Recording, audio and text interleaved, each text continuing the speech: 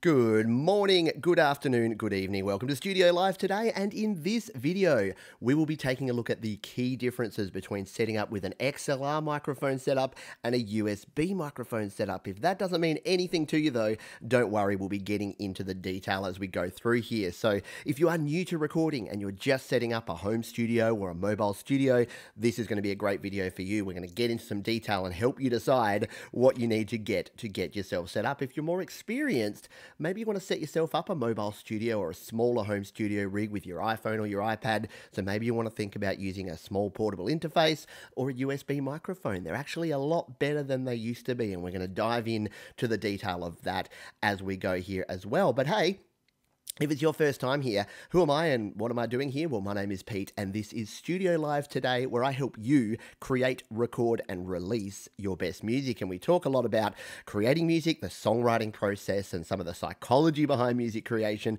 the recording, which is what we're talking about here today, as well as releasing, because releasing is so important. It gets your music out there, it helps with the development of your music, and it also helps you by sharing your art with the world, which is why we do this whole music capability paper to begin with, yeah? So that is what we'll be going through today. Now, if you if it is your first time hearing that sounds good to you, then consider subscribing. If you like the content, if you get value out of this today, hit the like button and share this with someone else who also likes recording music because they might get some value out of it as well. Now, all the gear that I mentioned in this video is over at my website. So it's studiolivetoday.com slash gear and the G-E-A-R.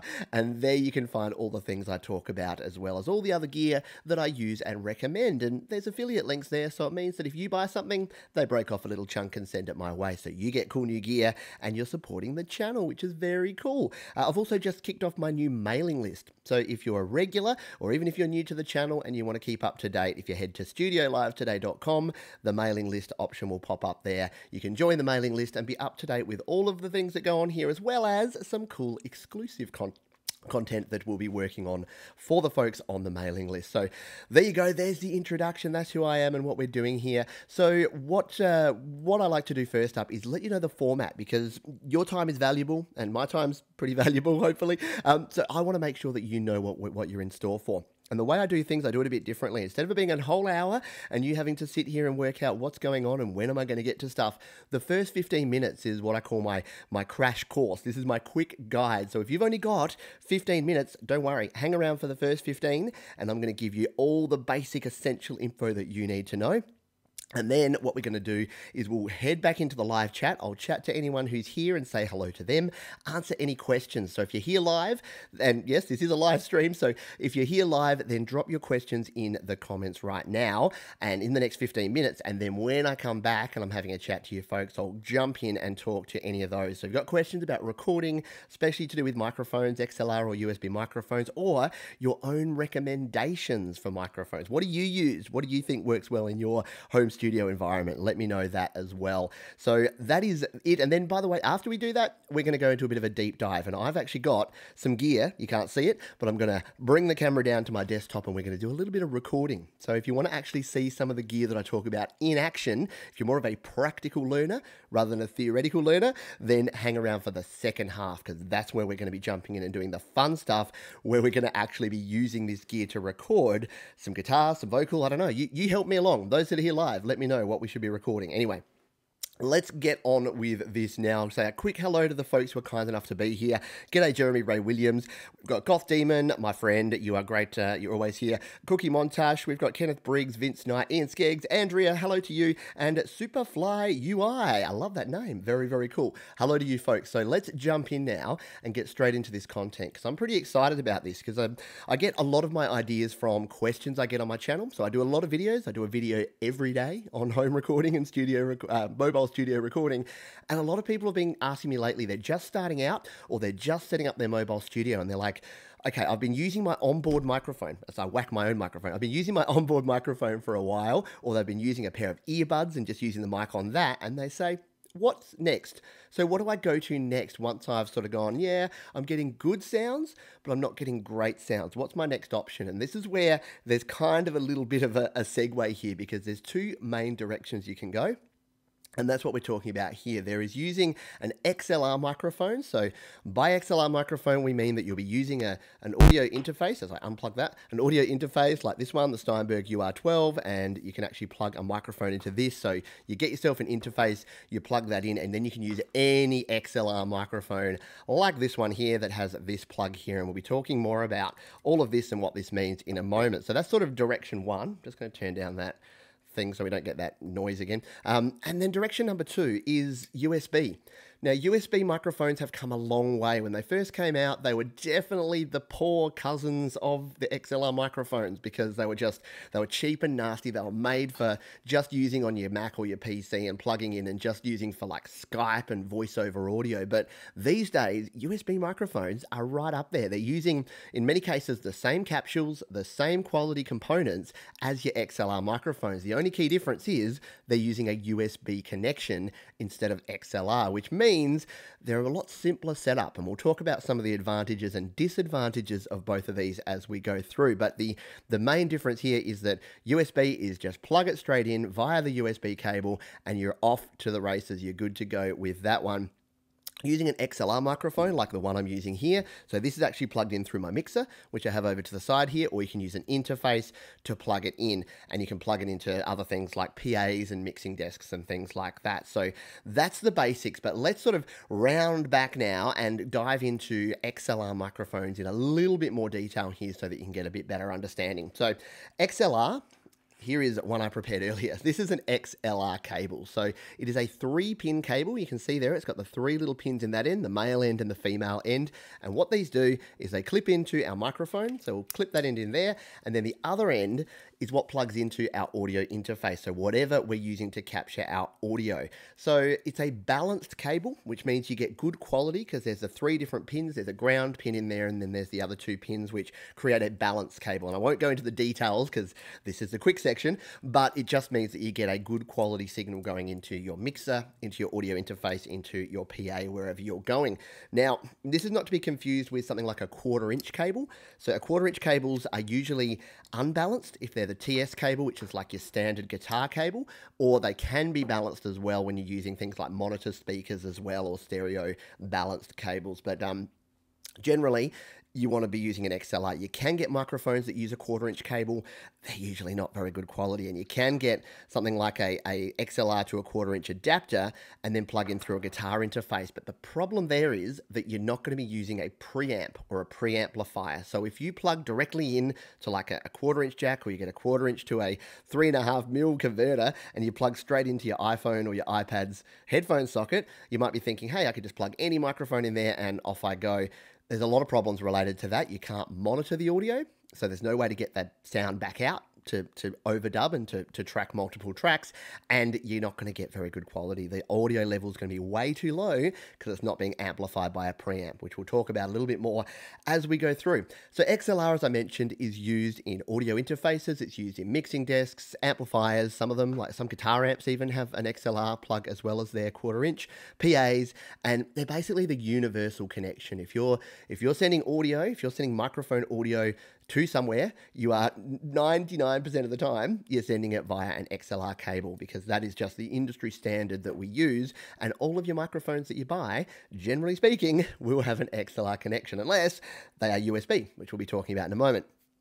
So, Let's talk power for a moment because there are two different types of microphone, and I've just realized I don't have the other type here, but there is a condenser microphone like this one, which needs phantom power. So most of your audio interfaces, most of your mixers, uh, a lot of things provide phantom power. Things that don't are things like your amplifiers or your uh, PA systems. They may not provide phantom power. So you do need to think about what type you get. The main difference is that these, as I said, require power. They're a lot more sensitive, generally speaking. They have a usually a better range that they pick up. So they're good for things like vocals and spoken word because you get a better uh, pickup of the range of your voice but they also pick up a lot more sound. So they will pick up the background noise. So you may be hearing, like I'm in a non treated room here where I do these streams, and I'm using a condenser microphone. It's picking up a lot of detail, and if I'm quiet for a second, You can hear a little bit of the background noise of my room, but again, it's not that noticeable when you're actually singing or, or using the microphone. The other type of microphones are a dynamic microphone. So these are the classic, if you see someone using a handheld microphone, like the SM58 from Shure, that is a, a dynamic microphone. So anytime you see a singer on a stage or someone is plugged into a PA system, you're 99% of the time they're going to be using a dynamic mic. And you can use those in the studio but they have with them their own limitations. And I've got a heap of videos on the channel all about microphones, and we're not talking specifically dynamic versus condenser here today, but I just wanted to talk a little bit about that up front.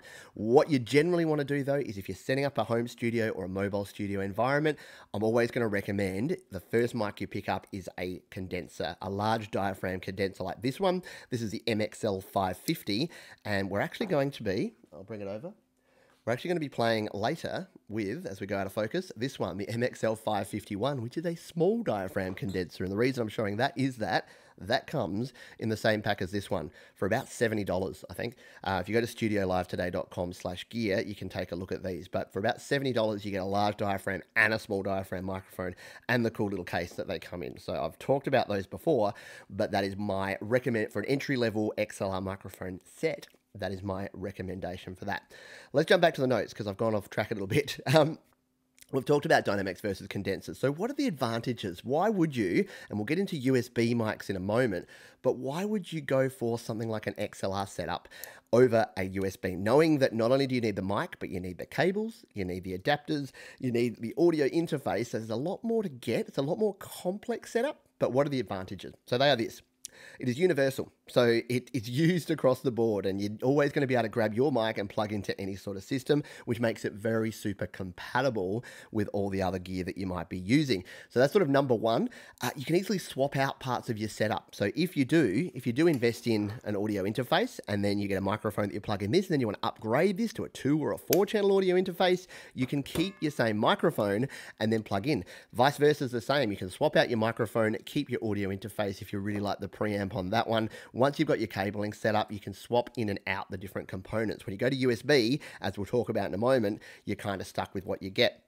Um, other advantages: the uh, it's easy for a live rig. So if you do have a dynamic microphone, so if you get a Shure SM57 or 58, then you can use that live. You can plug it into the PA system, you can plug it into an amplifier, you can plug it into other different uh, things, and you'll be good to go. You don't have to worry so much about the compatibility of that. You obviously can't plug a USB mic into any of those sort of things. Um, and it is good for multiple mic setups. So I did mention before, I talked about this one. This has only got one channel, the Steinberg UR12, but you can get two channel, four channel, eight channel interfaces, which means that you can have multiple mics plugged in at once. With USB mics, it can be done, but it gets super confusing and tricky once you have two USB mics because they want to be the input and the output of your audio.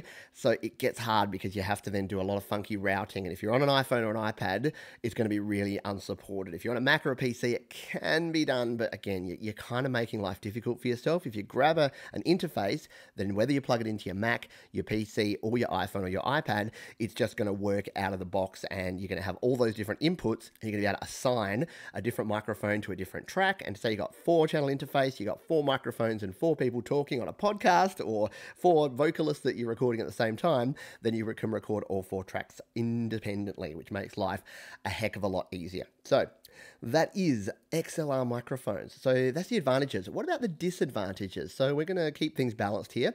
We've talked about a little bit of this, but it is a more complex setup. So a USB mic is plug and play. You plug it in, it turns on, it recognizes it. Usually they don't even require drivers, which we'll talk about in a moment, and then you're good to go. The problem or the challenge you have with XLR is you need to know how to connect your interface and whether you need drivers or anything for that. You then need to make sure you've got XLR cables to connect your microphone up. You need USB cables and sometimes power in order to power your interface as well. There's a lot more components to think about. So the trade-off there is it can be a more complex setup. Um, as I mentioned, there's lots and lots of cables there as well. Um, you need to worry about the power situation. So you need to worry about whether you have phantom power into your condenser microphones, but you also need to worry about powering up your mixer or your interface and how you're going to manage that as well. And there's more things to go wrong. So there's more parts of the chain. If something's not working with your USB mic, you unplug it and you plug it back in, and that's about all you can do. In this, you know, you've got all of your different gain stages. You've got all the different dials that you can dial up your gain at different levels. You've got all the different cables. So, you, yeah, you, you do spend a bit of time sometimes. If something goes wrong, you're like, okay, I've got to swap out the cable. No, it wasn't that. Swap out the USB cable. Wasn't that. Swap out the microphone. Wasn't that. So, there's more that can actually go wrong and more complexity in there. So, that is XLR microphones. We're going to have a, have a quick coffee break. Let's jump into USB. So hopefully you're getting some value, as I mentioned, out of this. If you are, hit the like button. Uh, do me a favor there. That would be amazing. And if you've got other people that want to get into mobile or or, uh, or, or home recording, then share this video with them. Uh, hopefully they'll find it interesting, especially if they're at that early stages of setting up their home or their mobile studio. All right, let's talk about USB mics for a moment.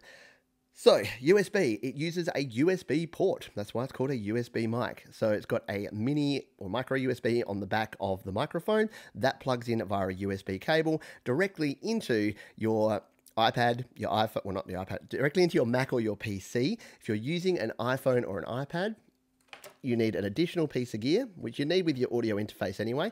And I probably should have talked about this earlier, but the Lightning to USB adapter. This one here, this is a Lightning to USB 3 adapter. And again, you, most of you that are here on the live stream have definitely heard me talk about this. But if you're new to the channel, this is the piece of kit you need to convert a USB signal into a Lightning signal. So if you're using your iPhone or your iPad, then you need to be able to plug into Lightning at this end and then plug in your USB mic from the microphone into the Lightning to USB adapter. If you're using a Mac or a PC, you don't need this. You go straight into your USB port, and that's what makes USB microphones so appealing. Is that when you're starting out, especially if you're on a Mac or a PC, you buy this. It comes with the cable. It has a headphone jack. You plug in your headphones, you turn it on, and you start singing, playing guitar, playing your ukulele, whatever you are recording. You just get going. So that is why a USB microphone is so appealing. And as I said, the quality of these is really good now. Used to be that they were the second class citizen, then very much not now as I said, they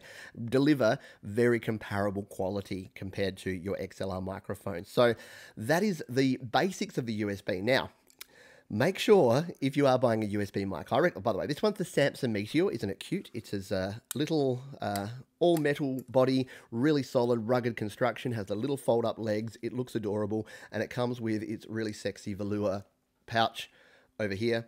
So yeah, it, it is just the bomb, and I like it, and I use it a lot. Um, there's others you can get. I, I, talk about the Blue Yeti, which is probably the industry standard for, uh, especially for streamers, gamers, Twitchers, all of those folks, um, as well as music does a good job with music. And then if you're getting more serious, you've got things like the Audio Technica, the AT2020 USB, um, and Rode even make a version of their NT1A, which is a USB version. So again, these are these are real microphone manufacturers that are making these, um, and they are just as good because they're using the same components. The only difference is instead of needing an audio interface, and I keep holding up my Steinberg UR12. Instead of needing to plug in via an audio interface, these plug in directly via USB. So the USB connection, what these have different is that they have the audio, think of it like they have the sound card built in.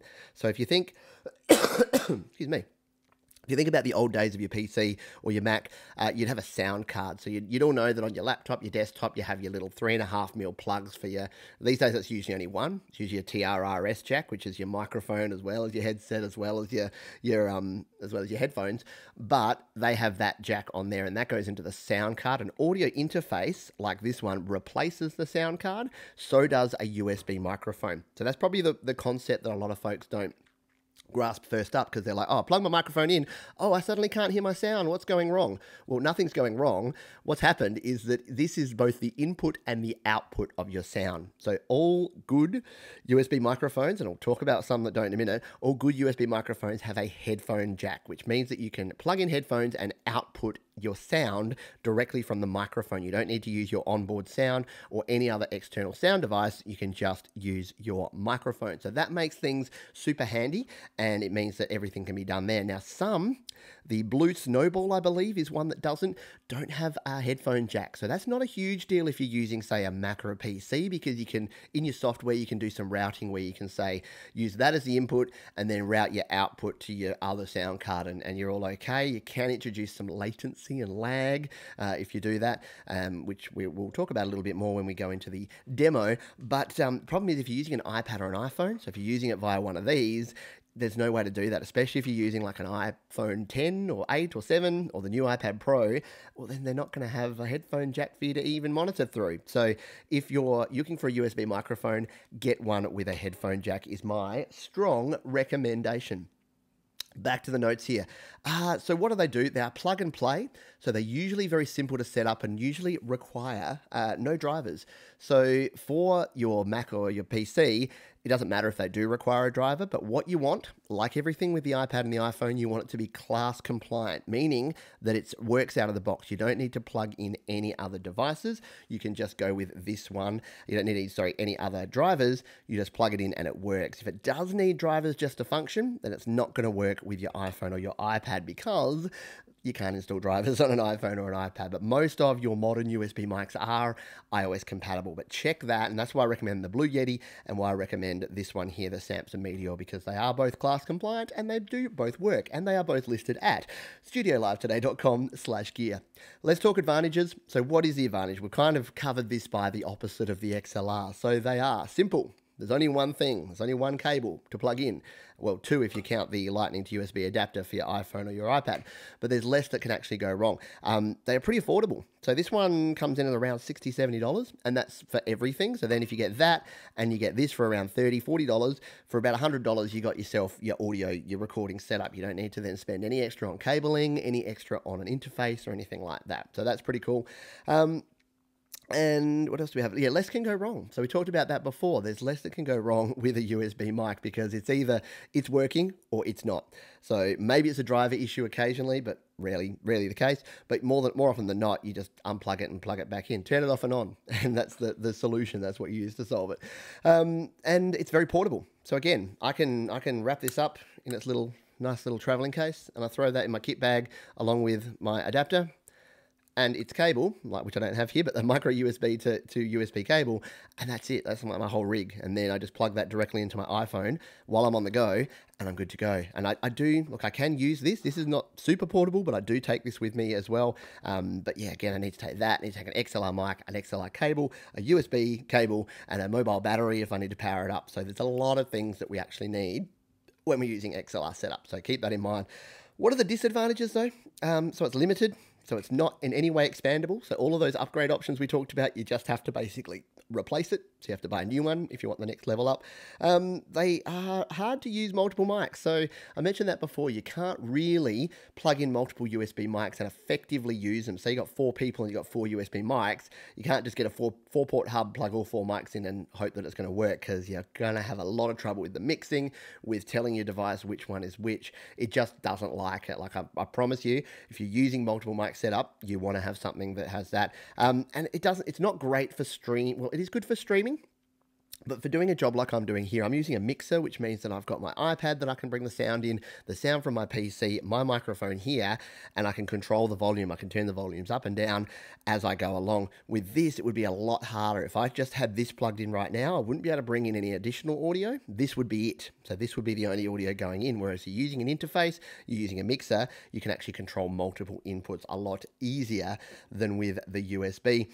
Um, and it's, yeah, so that's it. Sorry, my last one here was it's harder to control the mixes of your volumes. So there you go. Let's just uh, summarize that again. So what is the difference between XLR and USB? Well, fundamentally, it's the cable type. So we're talking about a USB cable on this one that plugs into there. We're talking about an XLR cable on here, which is this one here. But the key difference here is that this has everything built in.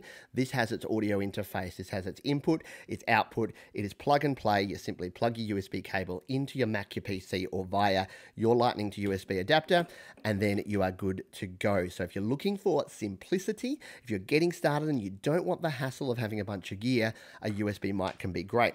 If you're getting started and you want to have the expandability, the flexibility, the compatibility, then XLR could be the way to go. And if you're doing it this way, my recommendations are to get a Steinberg UR12, which retail between 70 and $100. That they're over at studiolivetoday.com slash gear. That's my favorite interface.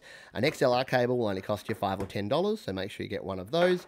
The Lightning to USB adapter, if you're using an iPhone or an iPad, and then pick up a microphone. This is the uh, Samson C01, by the way, which is my other recommendation. I use this for all of my live streaming. I use this for a lot of my uh, voiceovers in my videos. So this is what you hear my voice on now, but also when I'm doing my video tutorials and when I'm doing a lot of music stuff, I use this one, the MXL 550 and 551 pack. Both of them are around $70. So it really is up to you which direction you go. You can't really go wrong with either. Um, and I, I, as I said, I, I use them both on a daily basis, and uh, and I recommend them both. So that's the other way to go is to actually go down that path. So once again, if you're interested in that, and if you have questions about that, if you're on the live stream, drop your questions now because I'm about to jump back over. We are, yep, we've just hit the 20. I said 15. We did 20 minutes on that. So sorry, I took a little longer, uh, but now we're going to go back in. We're going to chat to the folks here live, answer some questions. But if you're watching on the replay, then throw your questions down in the comments too, and let me know what you use if you're already using something or your recommendations for other folks if they're getting started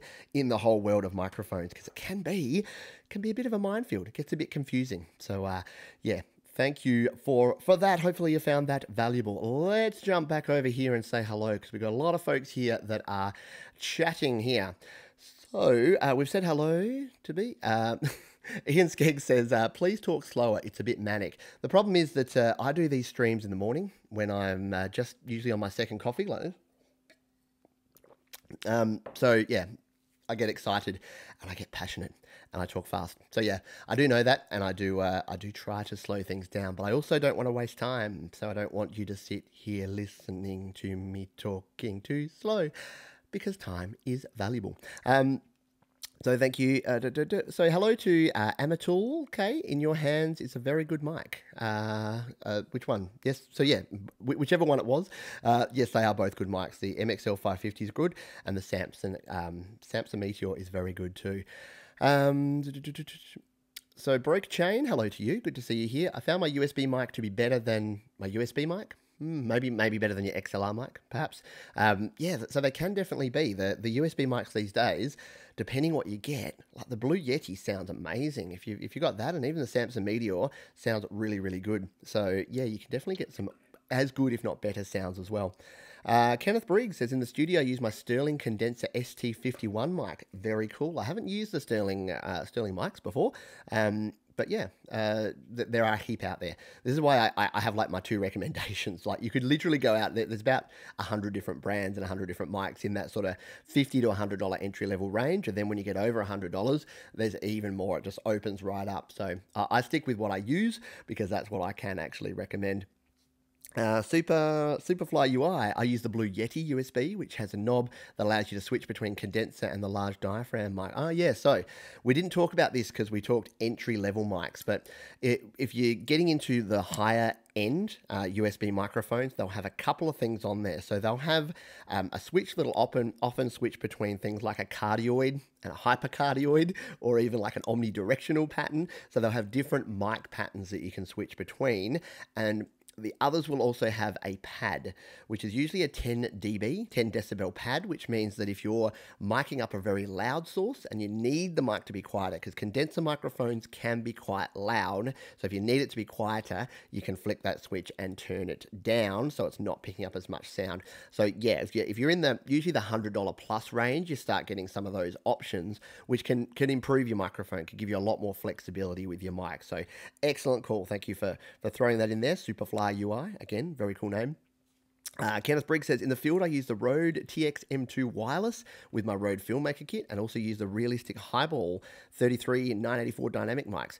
So again, there's just so many different options that you can use. But yeah, the Rode, um, yeah, the Rode wireless stuff is, is super cool. Um, probably not in the budget range, but uh, yeah, definitely very cool. If, you, if you're into things when you need to be uh, on the go and mobile and, and using wireless, then yeah, it's a whole new world, isn't it?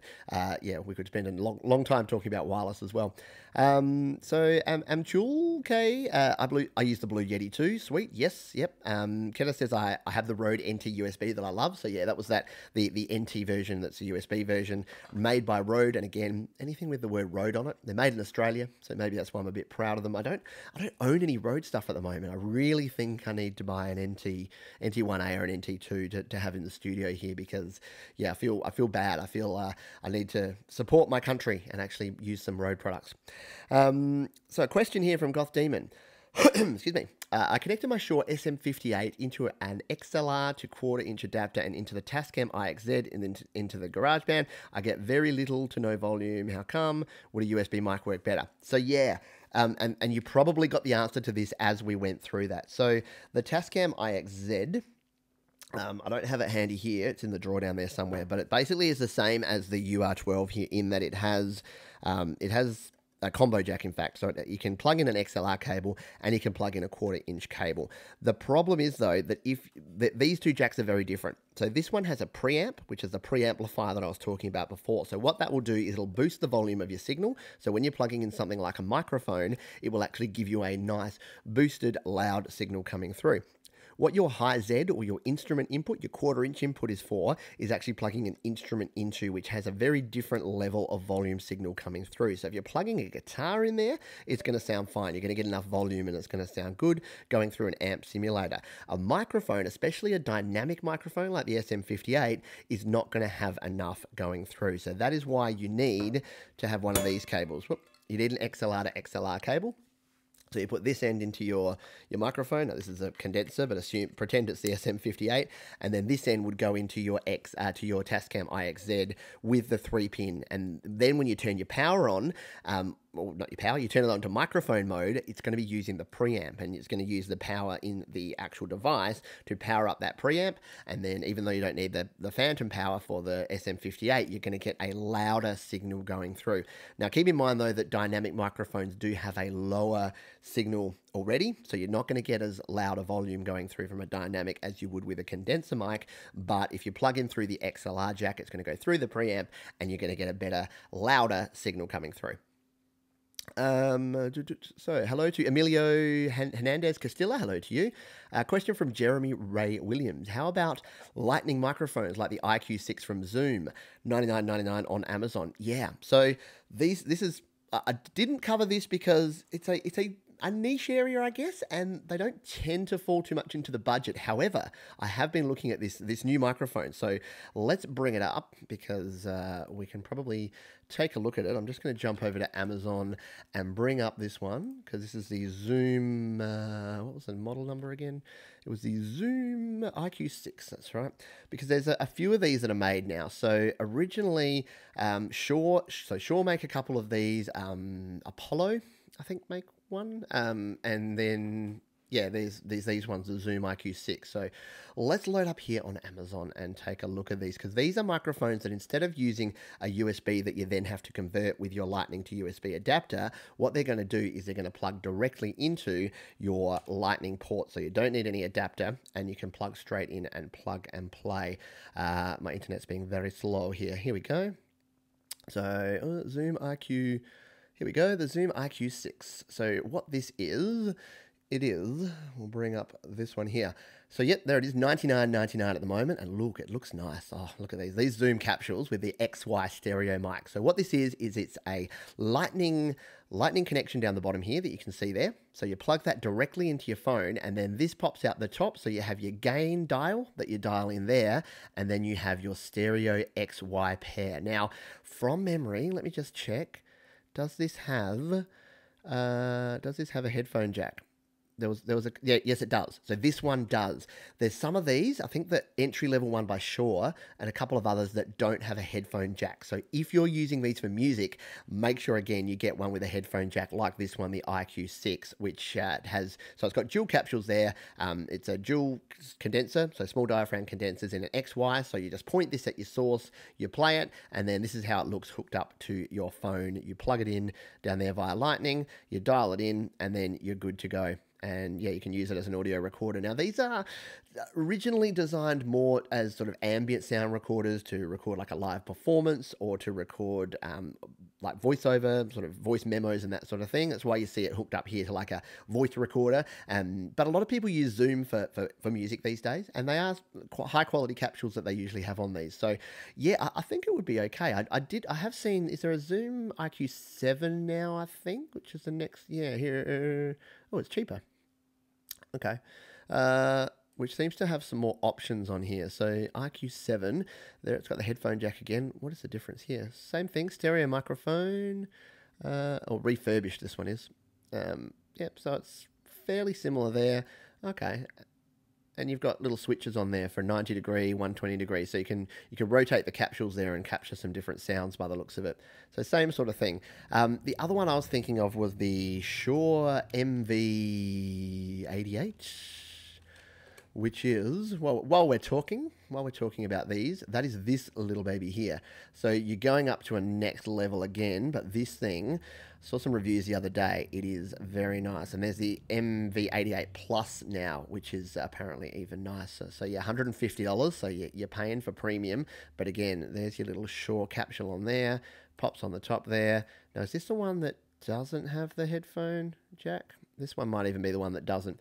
So you, you, do have to be really, really careful. This is great for sort of capturing live sound, but as soon as you want to multi-track or record multiple tracks of audio, then you need something that actually has a headphone jack. Maybe it's this one here that actually has the MV88 Plus. Anyway, you're up at $250 at that point, so you're getting a little bit uh, getting a little bit intense there with how much you're spending. But yeah, a great point. Um, who was it that made it? Let's come back and uh, and find them so that I can give them the credit. Um, but excellent question there from Jeremy Ray Williams, of course, my man Jeremy Ray Williams. So yeah, the, the IQ6 looks like a good option, um, and maybe it's something that I need to get one of them in um, at some stage and play with because it would be really cool for not only your music but just recording on the go. So I I take this and it's pretty good. So you, you just plug this in, but I've got to have this and I've got to have my cable and I've got to have my adapter. If I just had that little zoom plug it into the end of your lightning, hit record, and you're away, that could be really cool. Especially if you if you coupled that with your video camera of your iPhone and you recorded some live performance, I can imagine that that would go really well. Great point, great question. Um, Kenneth Briggs, I have all the dongles for my iPhone and iPad Air too. Yeah, tell me about it. I um I invested the other day. Uh, where is it? Uh, I've got this one coming up. So I'm working on a video at the moment where I will be displaying this one, the Lightning to Digital AV. So this is your Lightning to HDMI connection, um, adapter, dongle. So yes, I have another expensive piece of white plastic that I'll be talking about soon here on the channel. Um, but I got that so that I can display my iPhone and my iPad on my um, on my LCD monitors here, and eventually uh, capture the HDMI into this. So that when we're doing these sort of demos, instead of you know having to screen share and, and do weird things with um, AirPlay, I can just plug straight in and capture it via HDMI. Anyway, um, but yes, all the dongles. Uh, hello 650 Thunderbird. Hello to you too. Um, Ian Skegg says, I need a decent reel-to-reel recorder. I know it's expensive, but I think it's the I think it's good. Uh, yeah, well, uh, yeah. I, I, don't think I'd ever go back. I don't think I'd ever go back to tape. Um, I had a Tascam Tascam Portastudio originally, which I thought was the the bomb back in the day. Uh, but yeah, I don't miss a lot about having to to worry about tape and having to worry about rewinding and winding on. But yeah, if you if you want to capture old school and you want to go old school, yeah, definitely. Um, you can't yeah you can't beat that tape sound in something. I know Foo Fighters did a, an album to tape, and a lot of artists still love a recording to tape. Excuse me. I need a mute button. See, these have mute buttons. That's the other good thing. You can have a, a cough button. Of course, I could drop the volume on my mic, but then I'd probably never set it back again and you wouldn't be able to hear me again. Um, uh, so Kenneth says, I have the Alesis iRecord four-channel mixer and runs four XLR cable hookup and the Zoom H4n Pro. Yeah, Kenneth, you got you got some pro setup going on there. I really like that. You, you should be making videos. You should be showing us your setup because that sounds really, really cool. Um, stuffed productions. I'm going to sleep. Imagine if I wake up with 200 subs. Imagine. Um, yeah, well, maybe I'll maybe you'll wake up with one more. I'll, uh, I'll, I'll go and check out your channel. Um, tell, tell us about your channel. Um, so, Super FY, Super Fly UI, the mic you're using is the first mic ever recorded on classic good quality. Yeah, this is the Samson C01. Again, uh, people have said to me, why are you still using the Samson? You've been using that for five years. It's because it sounds like this. Like, it's clear, it's it's crisp, it's good quality audio, it suits my voice. Um, I've tried more expensive mics and they don't sound as good. So, yeah, it's the, it's the old adage. Uh, Dan Baker, who's a, a very good uh, YouTuber here. If you're not if you're not subscribed to Dan Baker, go look him up now. Dan Baker, he does a lot of cool home studio and music stuff. Uh, yeah, he, he, always says if it sounds good, it is good. Um, so if you're using a virtual instrument and it sounds good, then use it. Don't worry that it's not the real thing. And it's the same thing with microphones, the same thing with gear. If it's 20 years old and if it's dented and scratched, but it sounds amazing, don't go out and buy a $200 new shiny thing because it probably won't sound as good. Um, so, uh, Samson C03 in my studio works great. So, Jeremy Ray Williams also rocking the Samson. And Goth Demon says, Thank you for answering. You're welcome. Uh, condenser mics need voltage, not power. It's needed just to charge the plates. Yeah, so you need uh, voltage. You need, what is it, 44 volts? Yep. Um, 48, 44 what am I talking about? Uh, 48 volts of phantom power, which is to charge to use it. Yeah, we're not, not getting not diving deep into the technical side because um yeah it's it's we could spend a lot of time talking about the the, the well actuallys and all of the the details, but um yeah we're just going to keep it pretty simple here in this one. But no, definitely definitely it. How can a mic be digital? That's nuts. It's pressure waves. How can a mic be digital? Well, yeah, it's it is. It's all analog to digital, isn't it? Um, you can't record ones and zeros unless your voice is ones and zeros, but that would be really difficult unless you were a robot. And unless there's any robots here, then no, not going to work. Um, so Jeremy Ray thanks Pete. I'm looking to capture found sounds with my iPad. I need a simple mic solution other than the built-in mic the Zoom IQ7 or IQ6 looks to be the option. Yeah, I think so.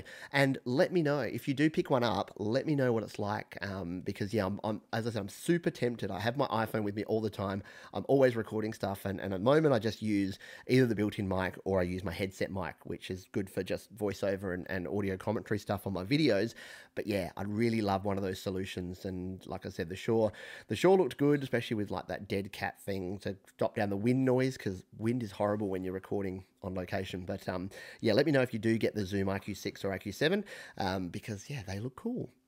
Um, Alrighty, uh, are you going to release another song one day? Good question. Uh, and yes, so I'm working on a song at the moment. Funnily enough, uh, speaking of Dan Baker, who I just uh, referenced before, uh, Dan recorded some strings, some violins to a song that I wrote in oh, October, September, October last year. It's like six months ago. Um, and it's been sitting there waiting to be mixed. So I'm finally mixing it. In fact, I'm recording the video of it today. So I've got after I do this live stream, I've got the setup, the rig here. I'm going to plug my iPad in and I'm going to record a video where I'm mixing this song because I did a bit of a preliminary mix and I shared it over on the GarageBand users Facebook group. And then uh, I got some feedback from them. So I'm going to jump back in and record that. So, spoiler alert, in the next uh, day or two, you're going to be able to see uh, a new video there, which is going to be for um, going to be for my new song. So, yeah, it's called Things Change. And I did, uh, there's a bit of a I did a bit of a demo of it a while ago. Let me just see if I can find it and I'll throw it in the chat here. You can take a, a listen to it. Um, uh, I'll do that later. People don't need to wait around for me to click around and find things on SoundCloud. Um, so yeah, so so look out for that one. But yes, I will be recording a song, and that's it, it is a it is a, a trap, I guess, that I do a lot of these videos, and then I don't want to ever lose sight of the fact that I'm actually recording my own music as well. So the last song I recorded was my punk song called Goats by my fictional band Fear Cut, which is available now, and uh, where all good music is streamed. If you search Goats by Fear Cut, F E A R C U T, you can check out that song. Um, but yes, I'm working on more songs as well. Um, and Super Fly FY, it's not about quantity with gear, it's quality. Yeah, exactly. Um, and I'd, I'd preface that by saying yes, especially for the, the, the gear that you're using, you, you want to make sure it's the right gear for you, the right quality for you. And if you're going to buy another piece of gear, uh, the only th- the only thing that I'd say that's different to that is that sometimes you want a different sound. So, for instance, with guitars, I own about five, six guitars.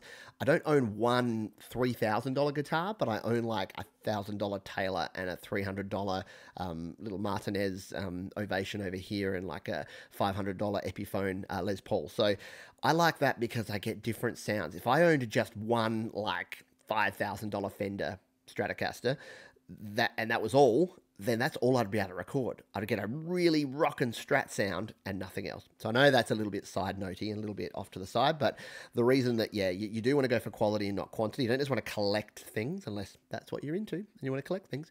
Um, but yeah, you do want to be able to uh, have that um, Rodney Smith says, "What about the newer condenser mics? Oh, the new. I thought you said what about the newer, as in the new ones, but the Neewer, uh, the Neewer brand. Um, Neewer, okay. I actually have. I have a Neewer, which is the brand by the way, N W N E E W E R. So Neewer are a brand of microphone and a brand of audio that is, yeah, in the in the budget range. They're probably a little bit more budget than what Samson and Behringer and others are. Um, I've only used one of their mics, which is like a shotgun mic. Uh, that's for like camera for video use. It wasn't fabulous, but I do use Neewer lighting. I don't use lighting on these live streams, but some of my videos I've got some little Neewer lights that I use, which are quite good. So I haven't really tried them, so I'm probably not, probably not, uh, not able to uh, answer that. Um, alrighty. So, thank you to everyone who's been chiming in here live. And what I wanted to do now is, if there's no more questions, if there are other questions, I'll swing back at the end just to check in and make sure. But what we're going to do now is we're going to do a little bit of an experiment.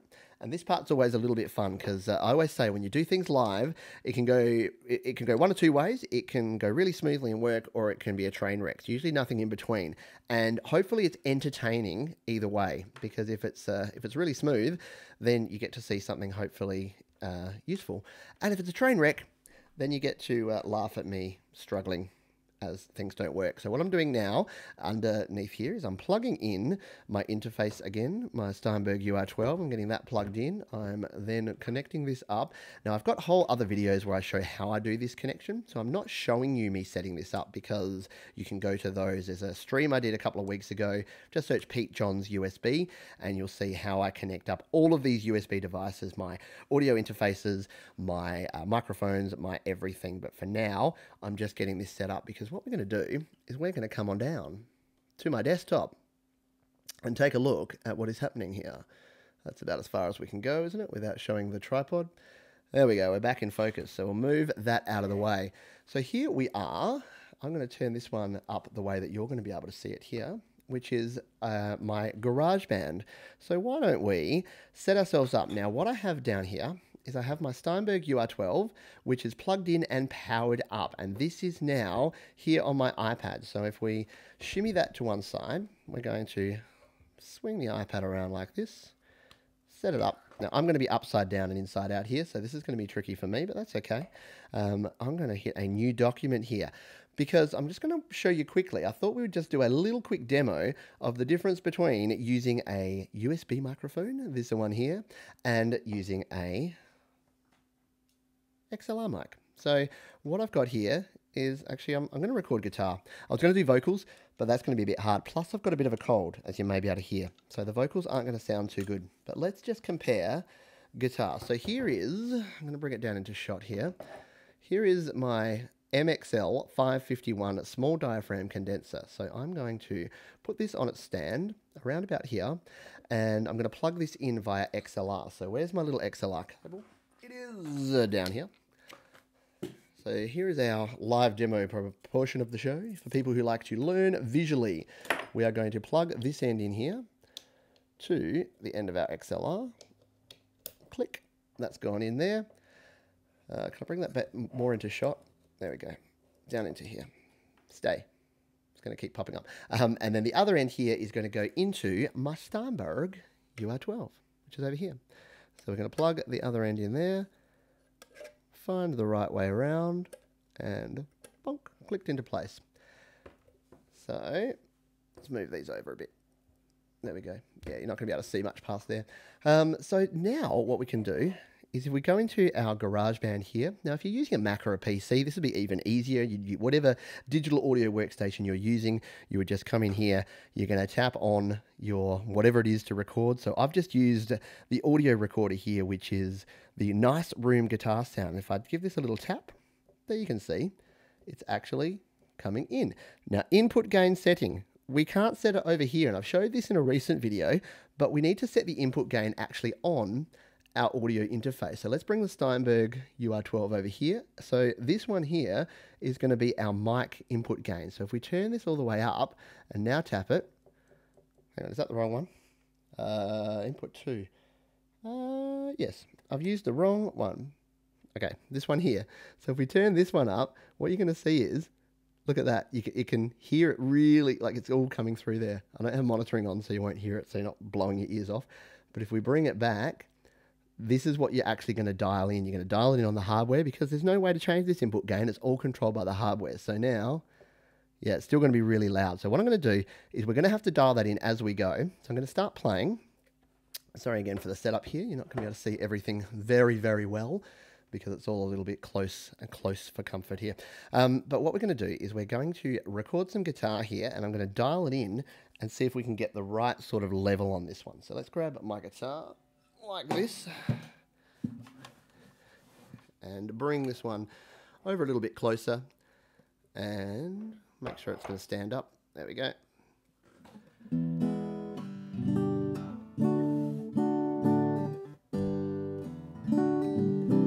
So it's going to have to go up quite a bit here to be picked up.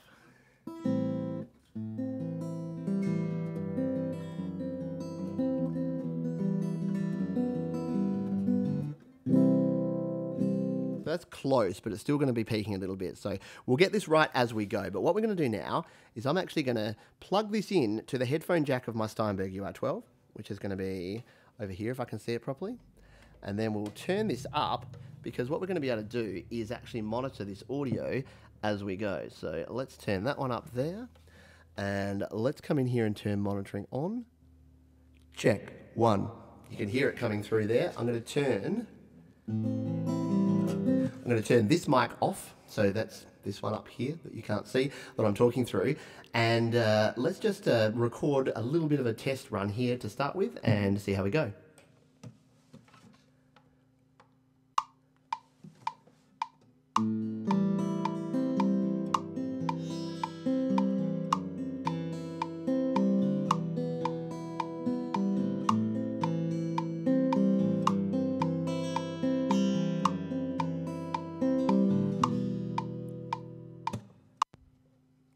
So that is recorded. Let's bring this mic back up and we'll turn monitoring off. And let's just play this back now.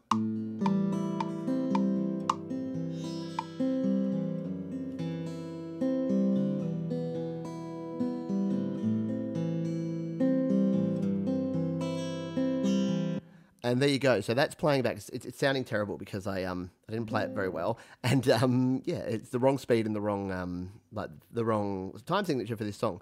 So again, I should have set up a little bit better than what I have done here. But that's how simple it can be. Like when you're using an XLR microphone, you might think there's a lot of components, but really all it is is this: you've got your your microphone that you're recording into that just needs to be plugged in via XLR to an interface. And I'm using the Steinberg UR12. I think it was uh, Goth Demon who mentioned he uses the Tascam IXZ, which is an even simpler setup that uses your 3.5mm jack. So you can use something like that. You then just need your output, which in this case is going into my mixer here, but that would just go to your headphone jack. And then all you need to do is plug into something like this using you know, lightning to USB adapter and then you're good to go. You can record your sound in with no problems at all. Now, we are running low on time. I did I did have visions of recording like a song here today, but maybe that's something we can do. If you want to if you want to see a live stream where I like record a whole song, let me know because it's something that we can do and it might be a bit of fun and I can set up a little bit better than what I did here. But now, what I'm going to do I'm going to turn down this volume over here so we don't pop our ears here. I'm going to unplug everything that we have here because now what we want to do is bring in this baby. I'm going to bring in the Samson USB and just show you the difference between setting up and recording with this. We'll just shimmy all this other gear out of the way because we don't need any of it and make sure it's all unplugged. And then we're going to borrow this cable that we used here, this USB micro or mini. I always get those confused. Which one's the thicker one. Is that the mini or the micro? Don't know. Anyway, here is our USB microphone. We're going to plug in here and click that one in like that. So that's plugged in there. And then we're going to get our, where did my lightning to USB go? Uh, where did I put it? I, I've lost it. It can't have gone far. I just had it.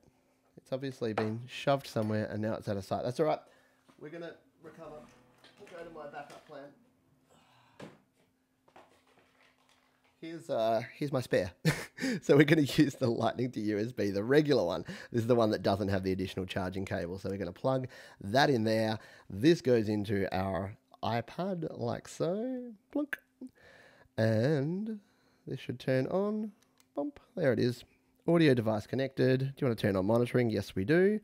Uh, let's turn ourselves back up over here. Let's hit the on button. Why is that not monitoring? Why are you not? oh, because we're still in. Okay, we're going to have to go back and create a new track. Go back, back to the track. So let's pop a new track here. Audio recorder again. And. Oh, it's, it's got the mute on. Well done, Pete. There you go. Now it's actually coming through. So we're tapping on that and there it comes through. Um, so that is all good. If we turn monitoring on now, um, check, check. Why is that not coming in? Is it because our, our oh, you know why? Whew, Pete, you're doing well here. We haven't plugged, we haven't plugged this into the microphone. So this would be what would be happening. This is I, I did that on purpose, you see, because this is what would happen if you're using a mic that didn't have a headphone jack. You wouldn't be able to monitor your audio going in.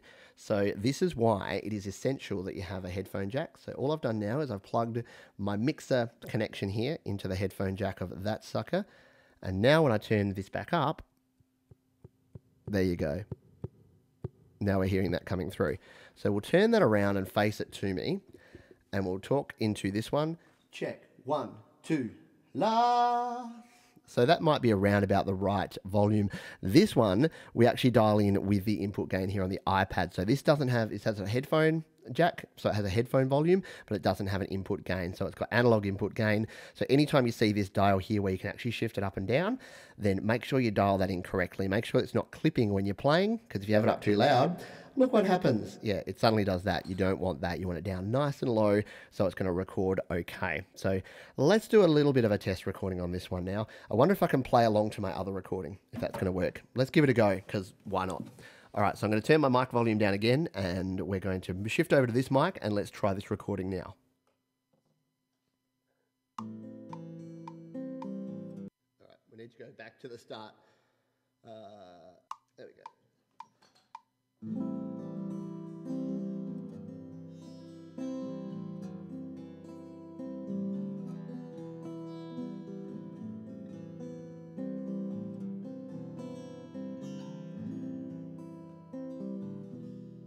Played a completely different part. so that was great. I played a completely different part. Uh, yeah, sorry about that. that that's going to have sounded awful. Let's play it back together because this could be uh, quite amusing. It's going to sound terrible. Uh, so we'll go back here to our track view. Um, but you can see there that look, it's just recorded the same. No, I'm not going to play them together because you only you had to hear that once already. Turn off my monitoring and let's just hear that track.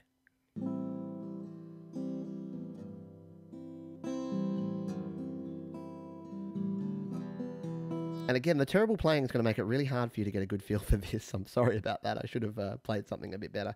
Um, let's compare this to the original recording.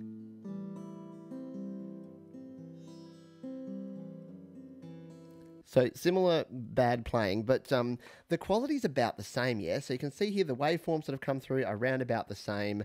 Uh, we've dialed in our settings. It didn't take us much longer with this setup as it did, like about the same amount of time to set up through here as it did the XLR. And um, you probably, if I had to say the quality of these, and again, it's not a proper test, maybe I'll do a proper test next time, um, the quality's a little bit better on the XLR than it was on the USB. Let's just play these together.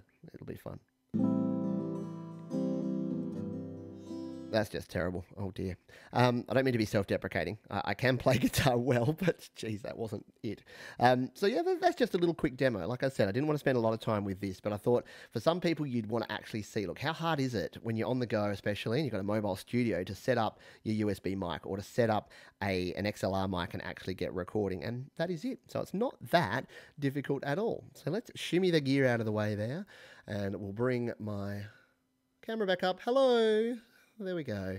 Um, so there we go. We are nearly at the end of our stream uh, here today. We are, are we over time? No, we had two minutes to go. So we're only going to go a little bit over time because I did want to return back and say a few final closing words and thank folks here and see if there's any final questions that we need to answer. I just need to actually find the chat again.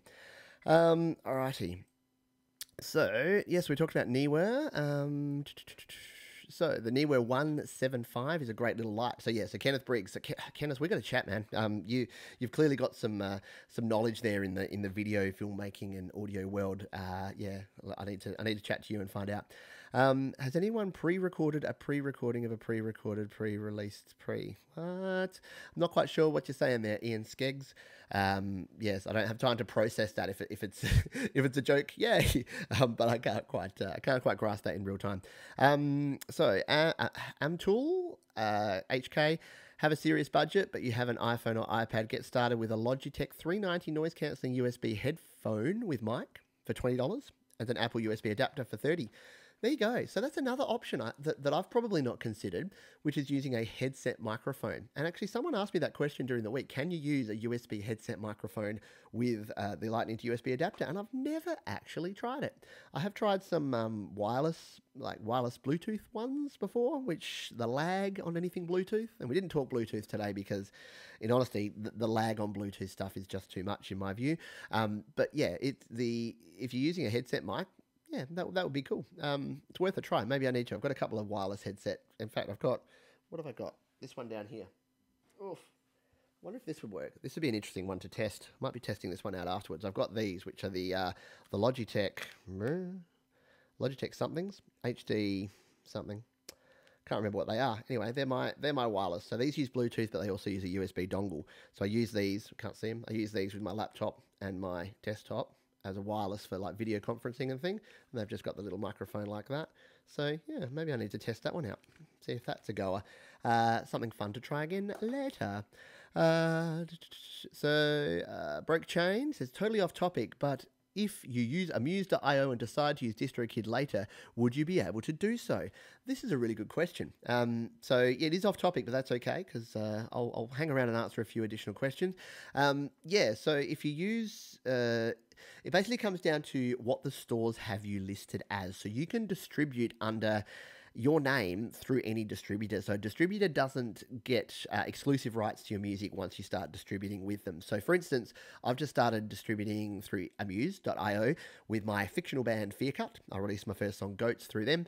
And if I then wanted to release Fearcut music through DistroKid, I could do that as long as I put Fearcut in. I'd have to be careful to make sure that it aligned those. So that's probably the biggest challenge you'll have. If you've got a name that's not completely individual, you want to make sure it selects the right one in your Spotify's and your Apple Music so that it's not putting your music with someone else's music, if that makes sense. So that's probably the only risk. Um, but to go the other way around, so to go DistroKid to Amuse, yeah, it's interesting. And I haven't had the guts to try it yet, but maybe with a future release, I'll actually sign up to Amuse using my Pete Johns uh, name and then release through them and see if it lines up that song with all of my DistroKid releases. So yeah, maybe I'll, I'll give that a go uh, soon and see if that actually works. But yeah, a good question. And um, I'm actually I'm finalizing an, another song I'm working on at the moment, the final countdown. I did a little acoustic version of that recently. So uh, I'm going to release that through Amuse as well under the Fear Cut name just to see how releasing a cover with Amuse goes. So stay tuned for that one.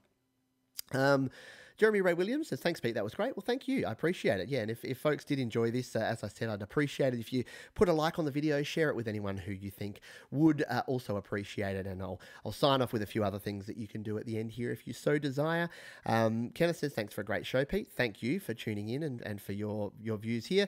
Um, and Ian Skeggs, Pete, a thought for your song, When Birds Fly, They Don't Think. When birds fly, they don't think. I wonder, do birds think when they fly? I don't know. It's it's for the birds. I do like my bird songs, so maybe I'll get onto that. I love your comments, Ian. Uh, you always make me think and laugh, and I'm not sure which one I'm doing sometimes. So thank you for that. Um, Amateur HK. Oh, so it, it, I didn't at work. So talking about the USB wireless headphones that they did work. Well, very cool. I'll, I will uh, I will endeavour to use that, and then I'll try the wireless one out too, because that could be kind of funky. Like using my wireless headset over USB, which means it removes the lag. And then, yeah, even just for, for videos and things like this, it might be kind of cool. Anyway, worth a try. Uh, Superfly UI, is there a way I can hook up my iPhone to TV screen to record a session? Is there a way I can keep my phone charged to be able to record for longer? Um, yes, so there's a couple of questions there. To a TV screen to record a session, so you can output it via HDMI. So if you've got something that can capture HDMI on your TV screen, you can, and that was this cable I was showing you before that I'm about to test out, the uh, the Lightning to AV cable that outputs via HDMI. Um, if you wanted to, the other way to capture is to use AirDrop, uh, not AirDrop, AirPlay.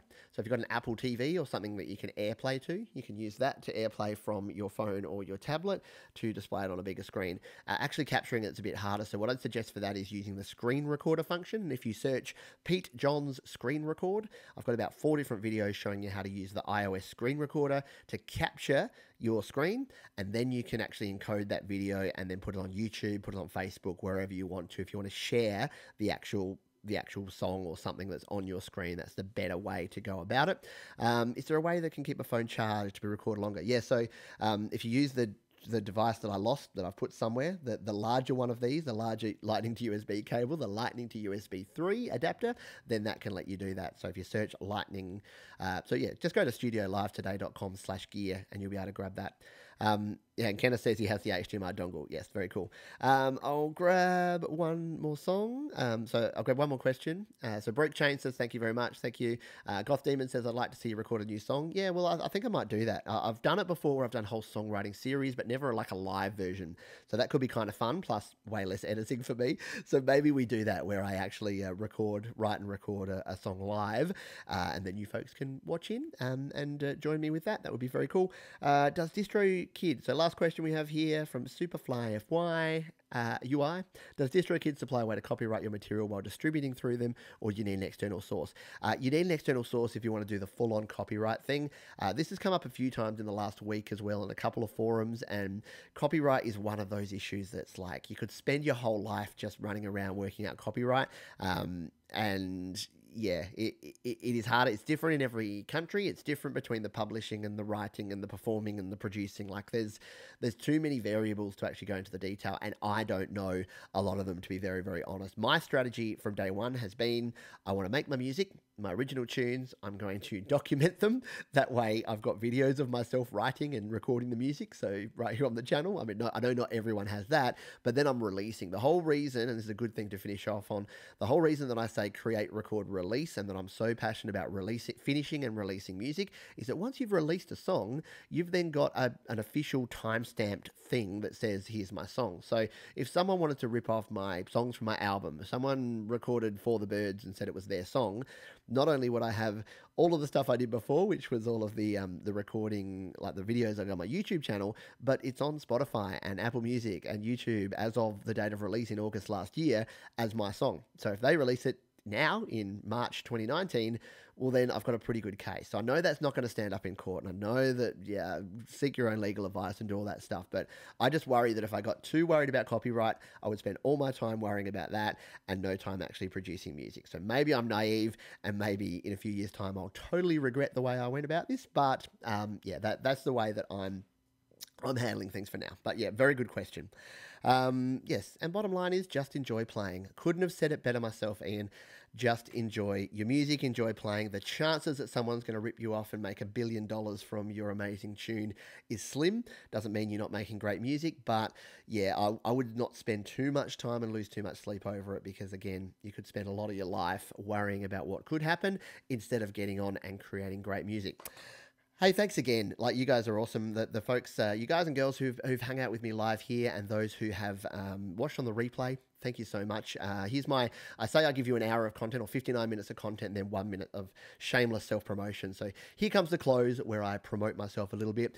If you head over to studiolivetoday.com, you can find all of my videos and all of the information about how to get in touch with me. You can also join the mailing list over there. So that's a brand new thing. You can get some exclusive content and I won't bombard you. Don't worry. It's not a spam central with three emails a day. It'll be a couple of times a week and you just get the latest information, a little bit of interesting exclusive stuff there. If you want to get a t-shirt like the one I'm wearing, you can go to studiolivetoday.com slash merch. That's where you can pick up the t-shirts and the mugs. Um, if you want to support the channel that way. Listen to my music, go to petejohns.com to check out my album from last year, Selfish Aware, which you can see what all of this gear can make, because again, that's the important thing is actually making the music. And if any of the gear we've talked about or any of the gear that I use that you'd like to check out, you can go to studiolivetoday.com slash gear and there is a full list of all the gear that I use and recommend over there that you can check out. This has been awesome. Thank you again, everyone, for being here. Again, if you liked it, drop a like. If you didn't like it and you thought it was terrible, drop a dislike, but please let me know why. Let, give me a comment and say what I can do better. Um, I'm always open to feedback. Thanks again, folks. Have a great day, afternoon, or evening. I'll see you next time.